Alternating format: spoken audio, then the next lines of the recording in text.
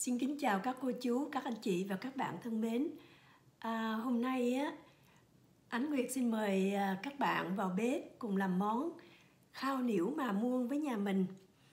Đây các bạn ơi, đây là cái món khao niễu mà muôn, một món xôi xoài của người Thái Lan, rất là nổi tiếng của người Thái Lan đó. Khao niễu á, có nghĩa là xôi, mà muôn có nghĩa là xoài. Đây các bạn ngon lắm. Món này mình học được từ một người bạn Thái Lan của mình đó.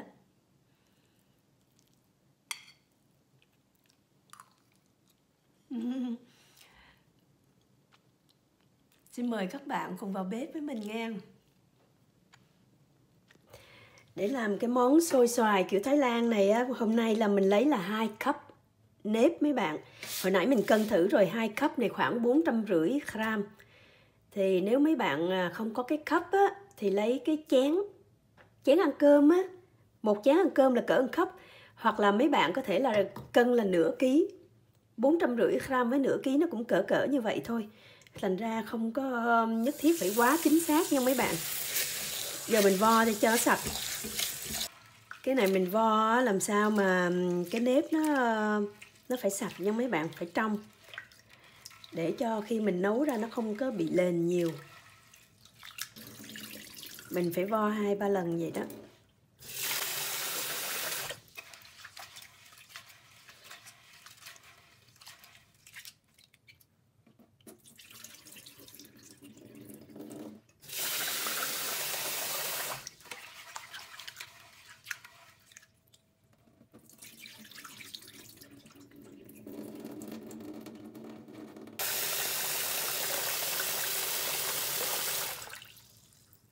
Mình ờ, mình vo ba lần xong mình chế nước ngập như vậy nè bạn.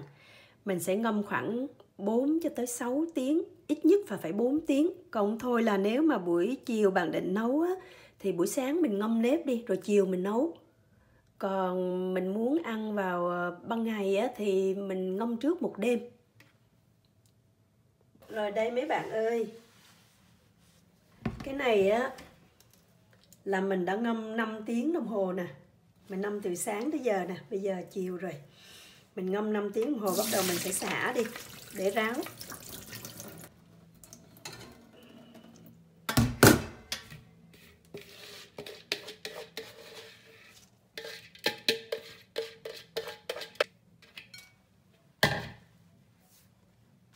Thì trong cái nếp này á, mình sẽ bỏ chút xíu muối. Cũng không cần nhiều đâu nhé mấy bạn tí xíu mình còn nêm sau nữa. Đây mấy bạn, đây là cái nồi hấp xôi của mình. Thật ra là nếu mấy bạn không có cái nồi hấp á, đây là cái nồi bình thường nấu ăn của mình nè. Mình đi mua thêm cái sửng này thôi. Cái sửng này, cái lỗ nó cũng nhỏ nè, thành ra mình, tí xíu mình cũng không có lót khăn nha mấy bạn. Đó, cái sửng này khoảng 25 cm mình tìm cái nồi nào với cái sửng này nó vừa nhau nè. Mình đi mua cái này thôi. Giờ mình sẽ đổ vô mình hấp bây giờ nước sôi rồi mình bắt uh, nếp lên mình hấp mình hông lên nha mấy bạn. Mình hấp lên. Mình sẽ làm cho nó hơi có cái lỗ vậy nè lên cho nó mau chín sôi.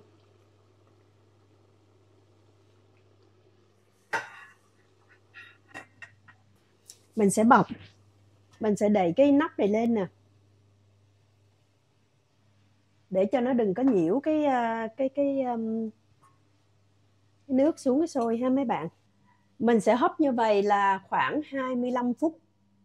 Trong khi mà chờ um, nếp nó chín đó mấy bạn, bây giờ mình sẽ đi thắng cái nước nước dừa.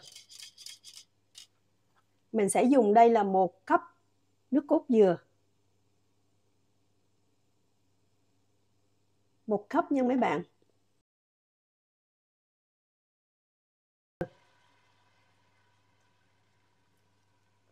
Mình ờ, thấy đây nó hơi dính đây, mình thấy tiếc nè, mình cho một chút nước cho mình tráng. Đó. Mình cho chút xíu nước vô ha, xíu thôi, để mình tráng cái này.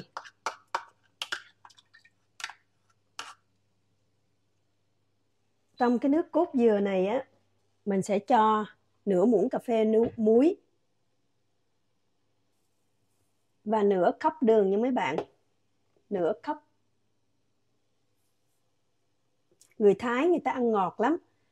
Đúng ra cái lượng mà cô bạn mình của chị tới một cốc lận đó, mà mình giảm mình giảm còn nửa cốc thôi. Người Thái ta làm món này rất là ngọt.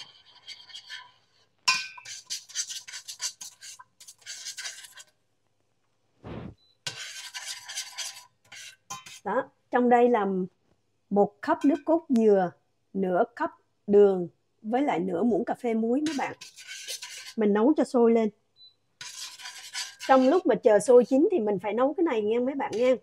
Tự vì tí xíu sôi sẽ để bỏ vô đây để ủ nè, cho nên mình lấy cái nồi rộng là như vậy đó.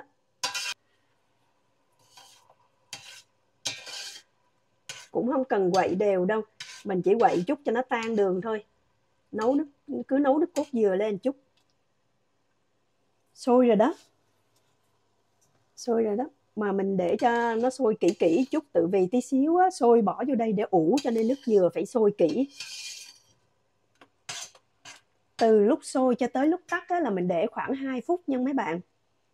Làm vậy á, là cái đường nó tan kỹ ở trong nước cốt dừa đó rồi nước cốt dừa nó chín kỹ á, thì mình để lâu nó không bị thiêu. Sôi hấp khoảng 15 phút á, thì mình dỡ ra. Mình đảo một chút nha mấy bạn.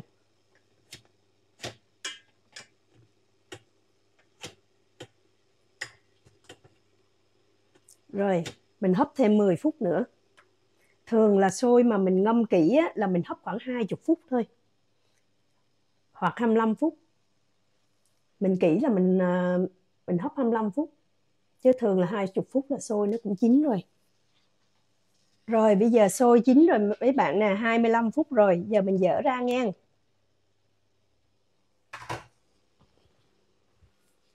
Đây là cái nồi nước dừa hồi nãy là mình thắng đó. Rồi. Cái này mình hơi hâm lên cho nó nóng lên rồi nè mấy bạn. Cái xôi này á, mình sẽ trút qua. Bên đây là hồi nãy là một cốc nước cốt dừa với đường á, với muối đó. Mình sẽ trút qua. Cái khay này nè mấy bạn, hồi nãy mình hấp á, tại sao mấy bạn thấy nó không có dính không? Là trước khi mà mình bỏ xôi vô mình hấp á là mình có trét một chút dầu dừa vô đây nè. Đây là cái uh, cái dầu dừa mình sử dụng nè mấy bạn. Đó. Mình uh, mình lấy mình trét ở dưới như vậy nè thành ra xôi nó không dính tiện lắm. Đây mấy bạn ơi mình chiếu gần mấy bạn thấy nè. Cái xôi mình đổ vô với nước cốt dừa giờ mình trộn cho đều nha. Mình lấy cái um, cái đũa mình trộn cho nó nó dễ. Mình trộn đều đi thấy nó nhão vậy mà không sao hết á. Mình uh, sẽ đậy lại khoảng chừng uh, một 15 phút sau á, là nó sẽ hút hết cái cái nước dừa vô thôi. Nó hơi giống cái ờ, xôi vị của Việt Nam mình ha. Xôi vị Việt Nam mình là thắng nước cốt đưa nước cốt dừa với đường rồi bỏ xôi vô xào lên. Nhưng mà người Thái thì người ta không xào mà người ta chỉ chế nước cốt dừa vô.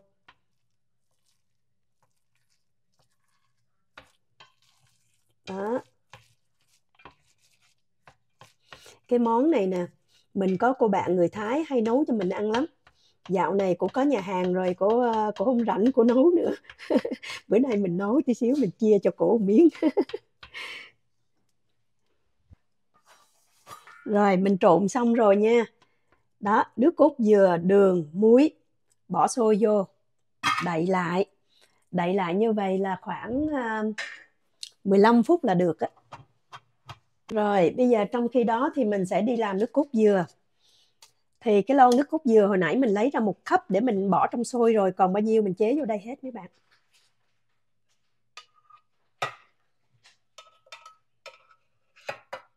Mình à, tráng cái lon, mình bỏ chút nước, mình tráng cái lon chút ha. Mình bỏ một muỗng, mình lấy cái muỗng này nè. Mình cho một muỗng bột gạo vô luôn.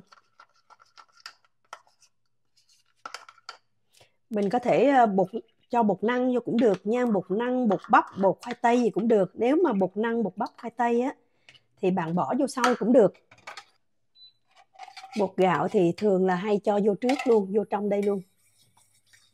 Rồi mới nấu lên.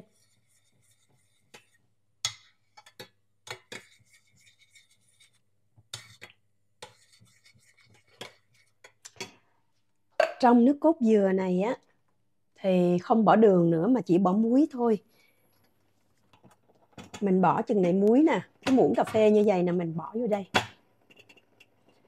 Người thái á, người ta ăn, mình á, thì à, người việt nam mình á, thì trong nước cốt dừa vậy mình cho là vừa đường vừa muối ha.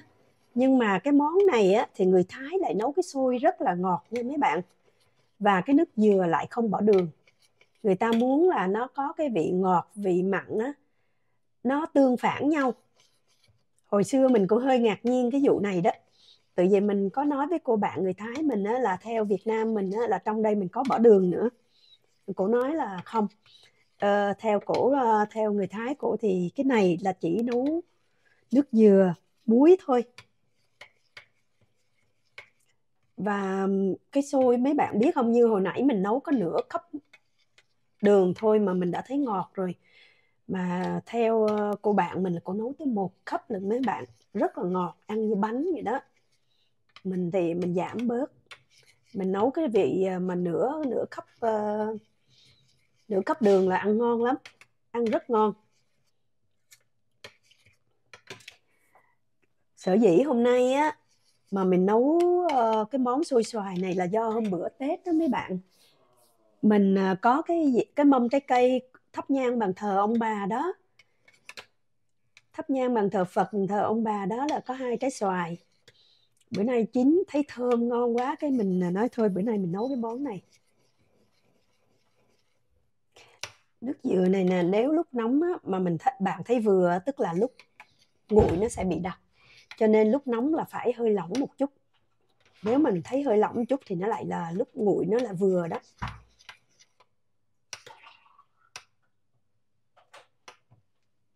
Cái nước cốt dừa này á. Mình khuấy cứ đều tay như vậy để cho nó đừng có bị khét ở dưới ha mấy bạn ha. Cứ để lửa nhỏ nhỏ nhỏ nhỏ trung bình thôi. Cái này à, cũng không gấp gáp gì. Mình làm sẵn vậy rồi tí xíu khi nào ăn sôi thì chế lên trên mặt giống như ở Việt Nam mình hay ăn à, bánh chuối hấp đồ vậy đó. Mình chế lên nó ngon lắm. Trời nhắc bánh chuối hấp nhớ. Thèm đó món đó cũng ngon. Rồi sôi rồi đó, mấy bạn ha. Giờ mình sẽ tắt lửa đi. Đây, mấy bạn ơi. Cái này là hồi nãy giờ mình cũng bận biệu dọn rửa cho nên là cái này hơn 15 phút. Này chắc cũng ờ, khoảng 20 phút 25 phút gì đây.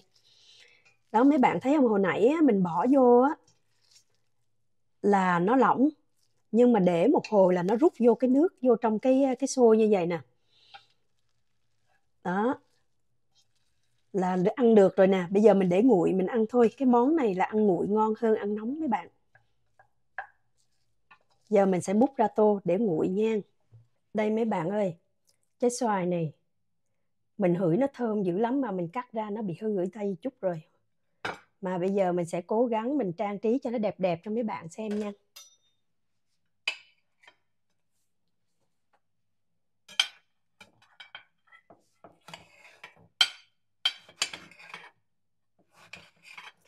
Hồi bạn mình về Thái Lan chơi đó. Đi qua cầm cho mình một trái xoài. Nó ngon dữ lắm mấy bạn. Xoài đó làm xôi xoài mới ngon.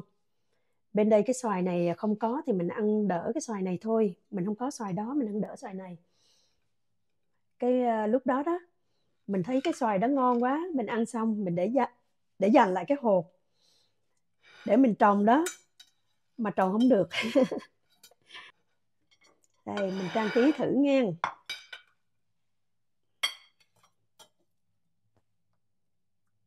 Để cho nó nằm nằm ha. Nằm xuống chút cho nó đẹp.